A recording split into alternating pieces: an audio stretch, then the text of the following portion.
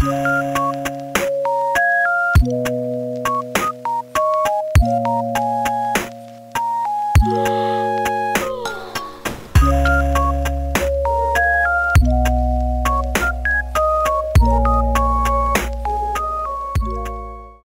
ajaran beliau itu terserap eh, terserap sepenuhnya kepada mahasiswa. Nah, inilah yang sering saya katakan kepada beberapa yang saya kenal, kita ke depannya akan berhadapan ya, bukan lagi Arianisme Pak Stanley, tetapi Erastusianisme. Ke depan. Ya, ini PR, Pak. Kenapa? Karena dia melahirkan uh, dalam tanda kutip teolog-teolog mereka sendiri kita PR ke depan semakin besar Pak. Karena seluruh ajaran-ajaran beliau itu akan diserap hmm. mahasiswanya di sana. Hmm. Lahirlah generasi-generasi penduplikasian ajarannya Pak. Kita ya, ke depan PR semakin besar. Ya, silakan Bung Albert atau oh, Pak iya. Posan. Lanjut. Mungkin mungkin Pak Pak Nathan bisa tanggapi mungkin sebagai seorang ketua STT. Ya, Pak Teu dengan Pak Irsus Sardono bermasalah dalam hal doktrin, doktrin yang mendasar sekali ini. Kristologi alat Tritunggalnya kacau balau mereka. Nah, sekarang posisi mereka ini Pak berada di dalam posisi yang strategi sebetulnya. Pak Erasus sebagai ketua STT Ekumene. Tentu saja banyak sekali mahasiswa yang berada di bawahnya dia. Nah, bagaimana pengajarannya itu prinsip yang dia pegang saat ini dalam hal kristologi alat Tritunggal itu apakah bisa mempengaruhi seluruh mahasiswa yang di bawahnya dia itu, dia sebagai ketua. Lalu yang kedua, dia ini sekarang posisi sebagai ketua BNPT KKI itu. Nah, saya tidak paham ini ini ini organisasi apa nih Pak? Saya belum terlalu paham itu. Apakah itu juga bisa me, me, mengintervensi STT STT di Indonesia sehingga mungkin bisa dipengaruhi secara doktrinal STT STT itu di bawah BNPT KKI atau bagaimana Pak? Mungkin Bapak Pak Nathan bisa jawab. Ya, terima kasih Pak uh, Albert. Jadi begini Pak, di, di, di dunia teologi, di institusi teologi itu ada sebenarnya beberapa organisasi. Yang pertama adalah Persetia. Nah, yang paling pertama, yang paling tua ini Persetia. Persetia ini adalah uh, persekutuan sekolah teologi di mana STT-STT, aliran STT Jakarta, HKBP, dan lain-lain itu ada di dalamnya. Ini yang paling tua. Kemudian yang kedua lahir pasti persekutuan antar sekolah teologi Injili Nah, ini yang dipelopori oleh Pak Kris Marantika. Hmm. Nah, ini Injili, Pak. Nah, ke, di sini kita masuk juga, saya masuk, tapi di Persetia kami belum masuk. Nah, berikutnya lahir juga yang disebut dengan PDPTKI. Nah, PDPTKI hmm. ini dulu ketuanya STT Muria ini uh, pemimpinnya, ya. ya. Nah, Pak Pak Hin Sterling tahu. Nah, PDPTKI ini merangkul semuanya, ya, semua dirangkul. Hmm. Nah, nah yang keempat lahirlah BMPTKI.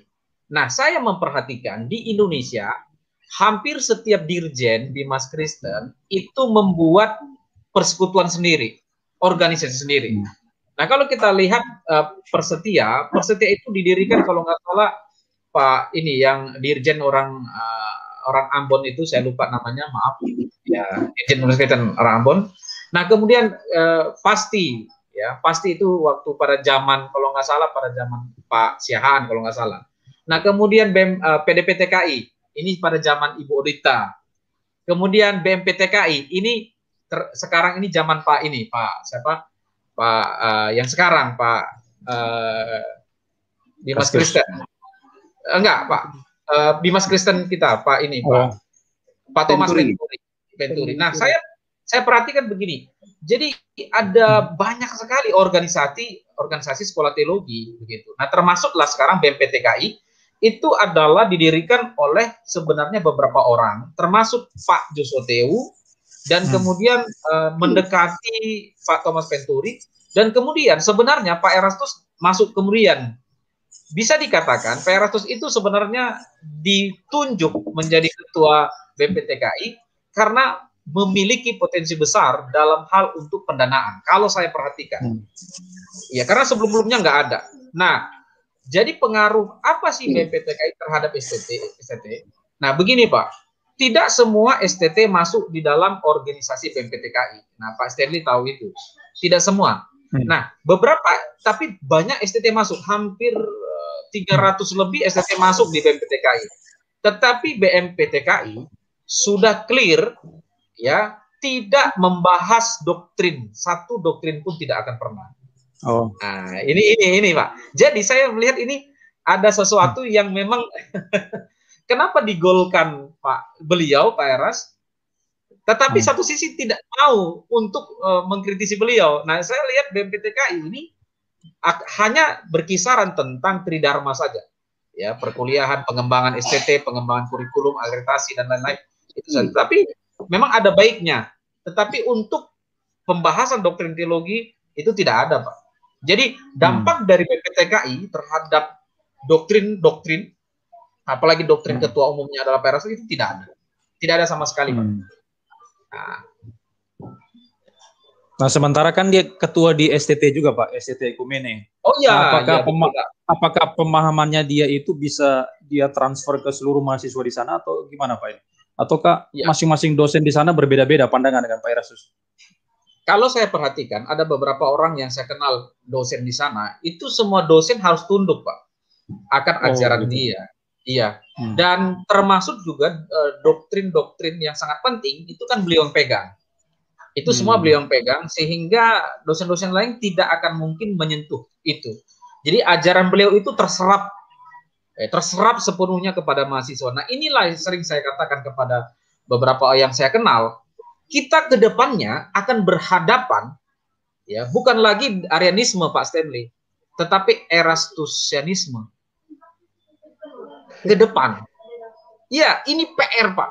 Kenapa? Karena dia hmm. melahirkan uh, dalam tanda kutip teolog-teolog mereka sendiri. Kita hmm. PR ke depan semakin besar, Pak. Karena seluruh ajaran-ajaran beliau itu akan diserap hmm. mahasiswanya di sana. Hmm. Lahirlah generasi-generasi penduplikasian ajarannya, Pak. Kita ya, ke depan PR semakin besar. Semakin besar Pak Stanley. Nah, oleh sebab itu saya di STT kami di sini saya bukan bukan ingin meninggikan STT kami enggak, tapi saya selalu tegaskan ya, hati-hati terutama doktrin-doktrin yang fundamental yang berkaitan dengan kristologi, doktrin tunggal itu dogmatika 1 sampai 6 itu saya pegang, Pak. Jangan sampai berbahaya. Ini karena gini, mahasiswa kita di sini saja kan karena media, media mereka kan banyak sekali gitu. Ya, media dari mereka itu Iya, jadi orang selalu cepat masuk. Ya, entah kenapa orang cepat dapat gitu loh. Nah ini daya tariknya. nah, saya rasa PR kita ini Pak Steli juga seorang akademisi di STT Moria, Wakil Satu, saya rasa ya penting. Kita harus membentengi. Kalau enggak, ke depan semakin berbahaya Pak.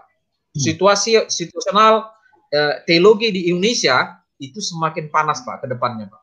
Karena akan hmm. lahir ya eh, era sosialisme yang baru-baru ke depannya. Demikian mungkin.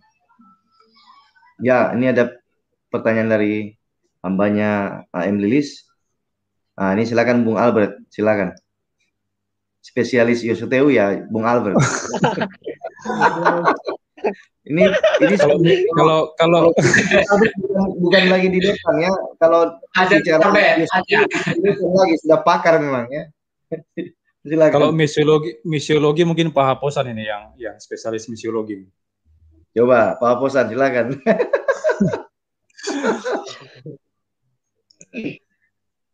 ya, saya uh, kurang tahu pasti ya JT ini orangnya bagaimana. Saya setuju dengan Pak Albert, dia itu sebenarnya memegang teologi blender. Jadi kalau dibilang misiologi kadang nggak bermisi, justru mengasut orang Kristen sendiri yang saya pahami bermisi itu ya menyampaikan kabar baik kepada mereka yang sama sekali nggak mengenal Injil. Hmm. Jadi ya dia